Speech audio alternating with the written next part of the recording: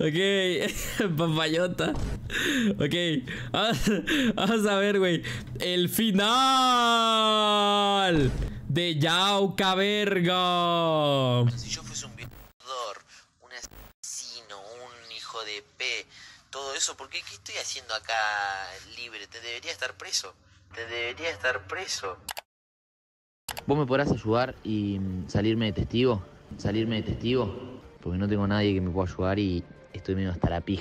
O sea, puedo ir hasta preso para que tengas una idea. Estoy medio hasta la pija. O sea, puedo ir hasta preso para que tengas una idea. No mames, ¿quién le filtró esos audios? Yao Yao Bodriega. Cabrera ¿Y esa foto qué, güey? es de los personajes más oscuros e infames de habla hispana. Qué asco me daba Yao Cabrera, güey. Conocido Qué bueno que desapareció de redes. por sus incontables polémicas y bardos armados a propósito, se ganó el rechazo de absolutamente todos. No existe ni una sola persona que no opine que este chabón es un boludo. Y me True, ¿qué pedo con el gameplay? parece perfecto. Pero ¿qué pasaría ¡Traigo dos si gameplays! les dijera que además de todas esas polémicas que ya conocemos, hay cosas ¡Mi cerebro! todavía peores? Quiero que quede claro que si me llega a pasar algo, es culpa de Yao Cabrera. Yao Cabrera que quede claro. comenzaría a subir A la videos verga, no sé qué le pasó a esa morra, espero que nada malo. por allá en 2014, haciendo retos Mi cerebro. y bromas en la calle molestando a personas desconocidas, lo cual por Es demasiado serotonina, güey. alguna razón en ese momento estaba bien visto, pero no deja de estar mal. Estos retos los hacía junto a Fabri Lemus, quien sería su compañero en esta aventura llamada convertirse en la persona más ¡No! ¡El dab, güey! de internet. Asimismo, se rodeaba de personas nefastas como Matías Sellanes, Juan Matías Candia. Pau Barbot, Gonzalo Goete y Tomás Oranges. Y no menciona a Fede Vigevani porque es el único que no salió escrachado de ese grupito.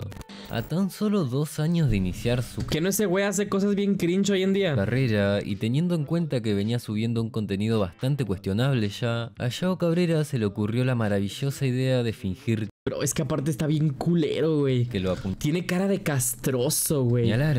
El 20 de noviembre Que fue de Matías Bodrio. Hace música. de 2016, Yao publicaría un video titulado Cazando vendedor de termina muy mal. Un video de baja producción acompañado por otro personaje tan cuestionado como lo es Ulises Magic, un supuesto mago que pensó que al igual que en la magia podía falsificar un video entero. Supongo que ya habrán visto este video, pero de todas formas les Sí, güey. No mames. Qué buenos recuerdos. O sea, bueno, malos recuerdos. hago un resumen. Se lo Pero cagado. Fue Yao acercarse a un supuesto dealer que estaba vendiendo en la salida de un jardín de infantes. Y se supone que lo estaban grabando sin que el vendedor supiera, como si fueran agentes encubiertos o alguna Con el cel aquí, güey. flayada de esas. Pero el video está tan mal hecho que parece una parodia. Dos cigarros, que son dos cigarros que lo fumo como un cigarro. Sí, sí, sí. Con el cigarro hace re mal, boludo. Bueno, flaco, pero es lo que tengo para vender, no sé. Si lo querés, lo llevás, si no, no sé, pero rápido. Porque no... ¿Está así? Está, dale, obvio, amigo. ¿Pero querés comprar o no? Sí, sí, dale, dale.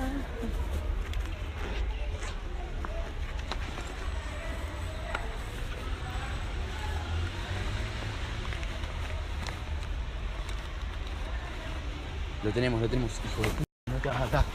Pelotudo, la concha.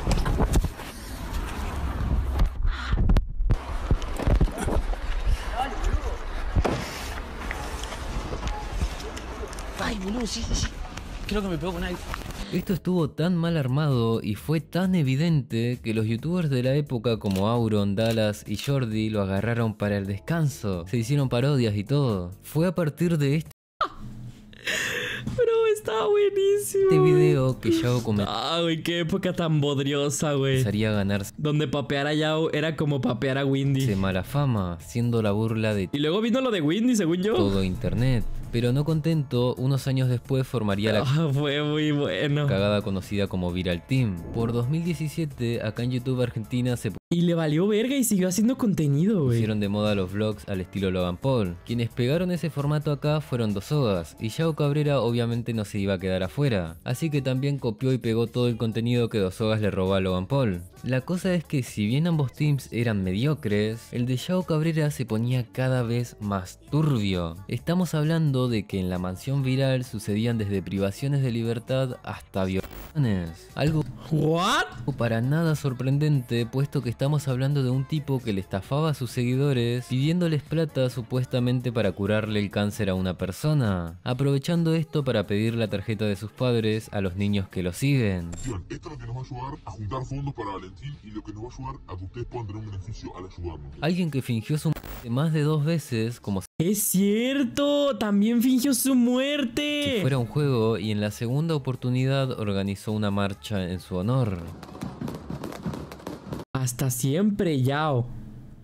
Te vamos a extrañar. No mames, qué puto lacra. Alguien que no conoce otra Qué puto lacra. manera de llamar la atención más Ahí drogaban morras para echárselas todo turbio por la fiesta. Que inventarse polémicas llegando a pactar con otros personajes para fingir que se pelean. Como la vez que Bro, no me acordaba. le pagó a Coca Montana para que finja tener beef con él. Hey, yo Cabrera, me acaban de enviar un video en el que está hablando boludeces de mí. No te confundas, amigo, yo no soy ningún guachín, eh. La cosa en la calle está seria.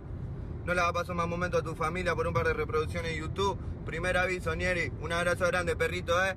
Pero para llegar a algo tan extremo como las violaciones, tenemos que empezar por el principio. En esa mansión donde vivían Yao y los trabajadores del Viral Team, se hicieron Yo no me acuerdo ya de nada, güey. fiestas de todo tipo. Amigo, no te confundas, eh.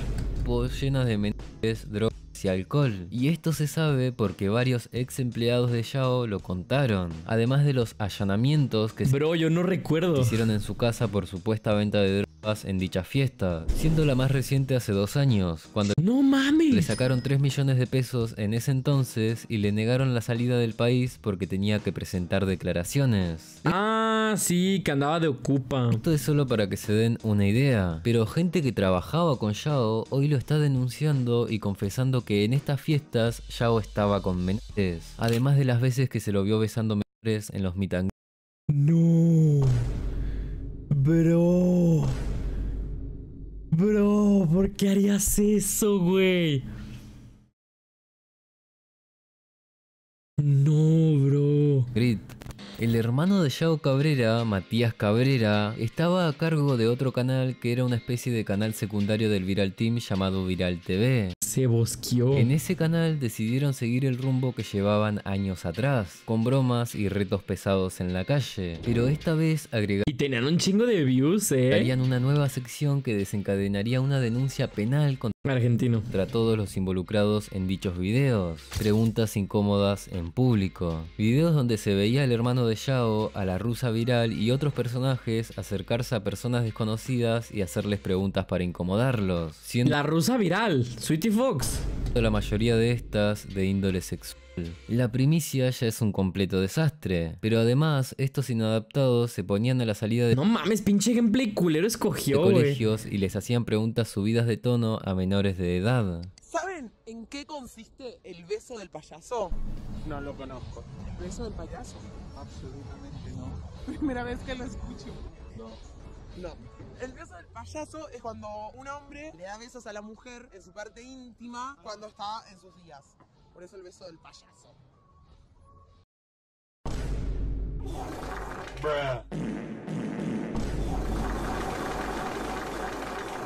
Oh, no puedo creer que se los haya explicado, güey.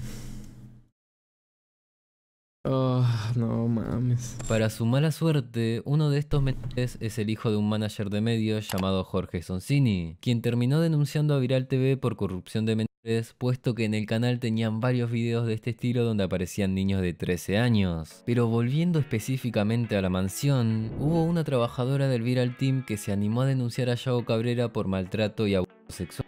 La chica de la que estoy hablando es Giovanna de Mitole, el motivo por el cual yo estoy hablando de Yao Cabrera en 2024. Esta chica trabajó Ah, cabrón. como diseñadora gráfica, editora y actriz para el canal de Viral. Ah, sí, ya. Y hace poco tiempo estaba temiendo por su vida. Que dijo que estaba prácticamente secuestrada, ¿no? Quiero que quede claro. Sergio, te puedo hacer el beso del payaso. Es que a mí no me sale sangre de ahí. Que si me llega a pasar algo, es culpa de Chavo Cabrera. Es culpa del Chavo Cabrera. A la verga, no, perdón.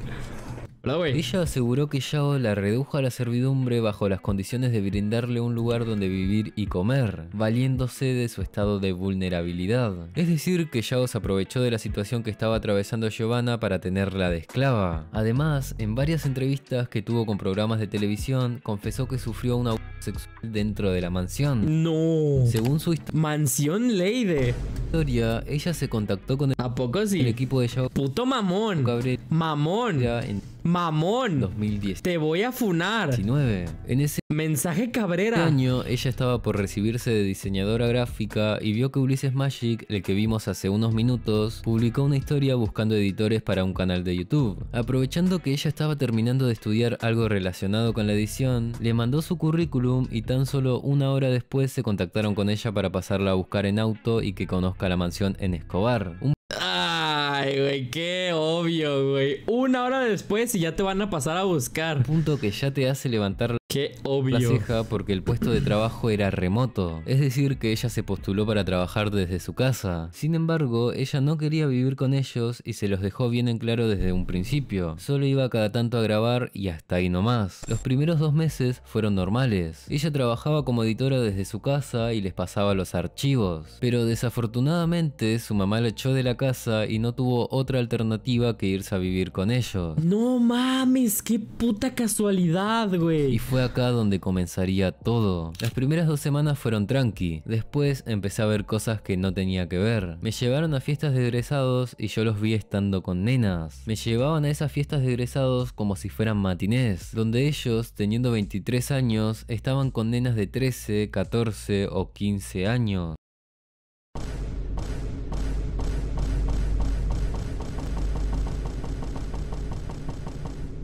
A la verga. Vi cosas que no debía haber visto, escuché situaciones que no tenía que escuchar y ahí empezaron los problemas. Además de ir a fiestas de egresados, cosa que es totalmente repudiable, ¿Cómo que de egresados? ¿A qué se refiere? O sea, como. ¿Cómo que de egresado? Es que yo, yo escucho egresado y. Aquí egresado es como. Que terminaste ya la carrera. ¿Qué tiene de raro eso? No sé. Egresado se refiere allá a otra cosa, en Argentina.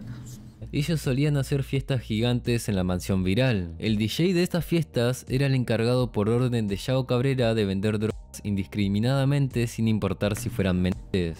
Según cuenta Giovanna, la hacían trabajar en jornadas extensas y esclavizantes que iban desde las 9 de la mañana hasta la 1 de la mañana del día siguiente, teniendo apenas tiempo para dormir y alimentarse con la comida que ellos le daban, la cual a veces estaba en mal estado. Sin embargo, por la situación que estaba viviendo y por no tener otro lugar a donde ir, ella seguía trabajando en la mansión, realizando Pobre vieja. un trabajo que la agotaba mental Eh, eh, graduados.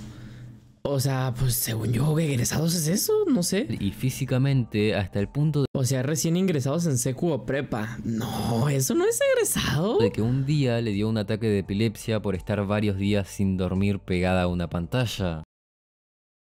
Ah, Know. A los de abajo nos daban polenta con grumos mientras ellos comían sushi. Había días que ni siquiera teníamos para desayunar. ¿Qué coño es polenta? Una vez me hicieron meter la mano en el inodoro con caca con la excusa de que lo limpie. Fui llorando a contarle a Yao y me respondió, ¿en tu casa no limpias? Giovanna asegura que no es la única víctima. De hecho, otro ex integrante de En tu casa no limpias. Llamado Mariano Fernández también forma parte de la denuncia. En tu casa no limpias. Giovanna también contó Embarajiñado. que cuando ¿Qué es polenta? Ni idea. Cuando pudo Pinches palabras argentín. escapar de esa mansión, a los pocos meses la contactó Pregúntale a ella. Ahorita le mando un una mensaje. integrante de 17 años ¡No, la caca! diciéndole que estaban haciendo vivos por y ofreciéndole a sumarse.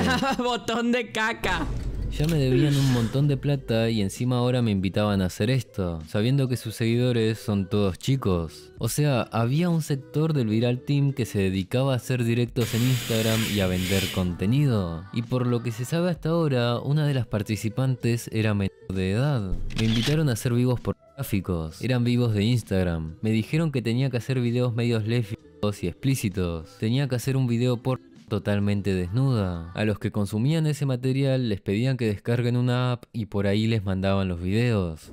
Todo esto que escuchamos es solo Telegram. una parte de lo que vivió Giovanna y de la denuncia que le Giovanni. hizo a Yao Cabrera, quien luego de un largo proceso judicial durante el cual Giovanna se vio obligada a vivir en un refugio de mujeres, fue procesado por el delito de reducción a la servidumbre y trata de personas, para luego ser llevado a juicio oral tras presentarse pruebas y testimonios en su contra, como la declaración de Giovanna, una cámara Gesell a la que se sometió, un informe del programa Cámara Gesell, ¿qué cojones es eso? Programa Nacional de Rescate y Acompañamiento a las Personas Afectadas por la Trata y un informe policial forense. Dicha causa supondría un embargo de 28 mil dólares. Pero pese a todas las pruebas que hay a su favor, Giovanna hoy en día sigue viviendo con miedo. Mientras realizaba todo este de este proceso que lamentablemente lleva su tiempo, Giovanna fue víctima de amenazas, hackeos ¿Por qué puso esa rola de fondo? y llegó a sufrir un accidente de tránsito ¿Por qué puso Velanova? bastante sospechoso en el auto de su mamá. Y ahora que se complicaron las cosas para Yao, el tipo salió a hacerse el reformado, fingiendo que está trabajando reparando aires acondicionados. Obviando que esto es una estrategia para mostrar buena letra frente a la justicia, se estarán preguntando qué pasa con los demás integrantes de Viral. Bueno, porque la justicia divina todos están igual de complicados que Yao. Candela Díaz, Juan Pavar, ¿Y la música? Nathan Castro y Kevin Macri son acusados de los delitos que ya mencioné. Mientras tanto, el que fue llevado a ju- Este güey neta no se decide con su puta música. juicio güey. oral fue Yao, quien asistió al Tribunal Oral de San Martín este 5 de abril Ahora puso Hit the Road Jack. para declarar por los delitos de corrupción de menores, facilitación de la prostitución, trata de personas y reducción a la servidumbre. Nombrar los delitos ya es extenso, así que imagínense ¿Qué tiene de malo la reducción a la servidumbre, güey?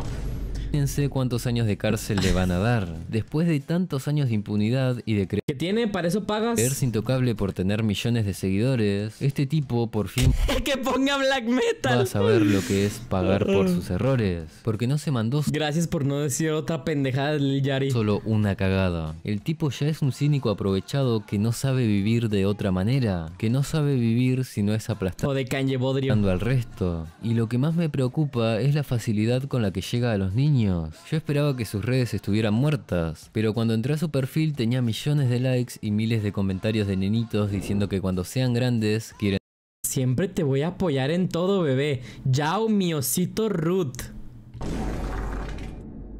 ser como él. Si yo ni fan de Yari soy, pero el bo- digo el pop. Ah, el pollos, el pop. El pop. Ya son uno mismo, güey. Porque son tan inocentes que creen que este chabón disfruta El de crear contenido y lo hace para entretenerlo. Sin darse cuenta que en realidad lo único que lo mueve es su propia satisfacción y el dinero. Y que si los tuviera que pasar por encima, ni siquiera le importaría que sean niños. Esperemos que esto y su próxima encarcelación sea lo último que sepamos de este ¡A la ser. verga! Pero conociéndolo no me sorprendería para nada que lo sigamos viendo. Ay, ojalá que no. Ojalá que ya ahora sí ya no finja su muerte y ya sea. mm,